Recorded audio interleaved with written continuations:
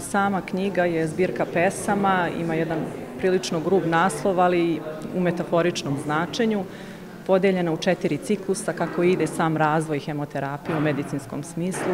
Naravno, hemoterapija ima taj neki e, specifičan termin u narodu i uopšte u, danas se često pominje u jednom grubom smislu, ali ovde je u pitanju magijska moć reči i kako zapravo reč može da dovede do duhovnog isceljenja. Žena je česta tema u mojim delima, zapravo ona je light motiv koji se najviše prožima kroz sva moja dela, tako da ni ovde nije izostala. To je žena koja je suočena sa savremenim društvom, sa savremenim prilikama i ona u stvari predstavlja čoveka koji stalno vaga između dobra i zla i bori se sa svim svojim unutrašnjim dramama onoliko koliko može i koliko mora.